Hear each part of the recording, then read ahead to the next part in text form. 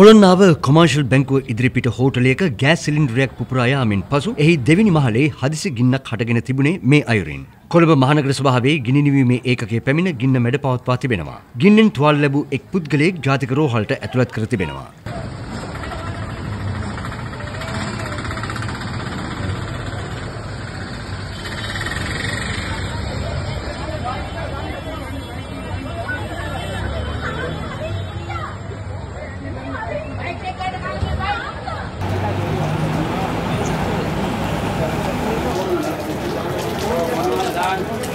Later.